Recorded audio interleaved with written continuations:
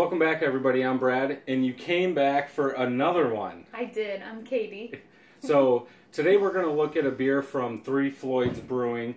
Uh, this is Alpha King. It's a 6.66% ABV that's not listed on the bottle, and it's a 68 IBU that's not listed on the bottle.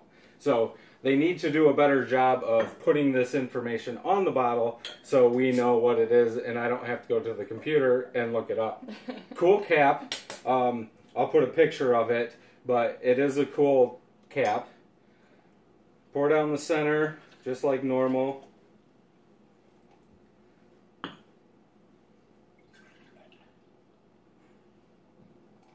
give you a little bit more. Thank you. Very big head.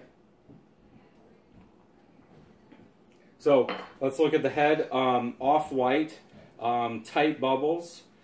Um, I'm guessing just by looking at it, we're going to taste malt, just because of the color. Um, uh, a dark orange color, uh, very hazy, and I do not see bubbles. So I'm guessing it's going to be low carb. Smell? Pine. Yep. Getting some pine, some malt in there, some citrus. I smell citrus. Yeah. So we're getting the normal what it would look like because uh, when you're dealing with malts and tasting malts and beers, they're going to be darker just because you got those malts in there. So let's take a taste.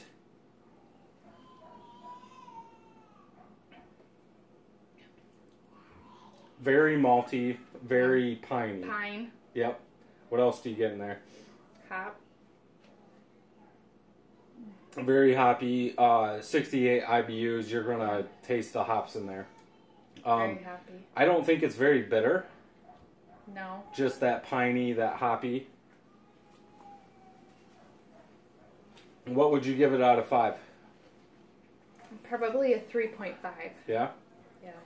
Um, probably same here. I'd probably go with a 3.5. Um, I'm not very big into the maltiness of it. Um, I like the piney. I wish when you tasted it, you got more citrus Yes. in there, like you smell. Um, and I like the fruitiness, so I wish there was some fruitiness in there. But overall, a pretty good beer. So if you guys have had this, please leave a comment below. Don't forget to subscribe. And until next time, I'm Brad. I'm Katy. Happy brewing. Thank you.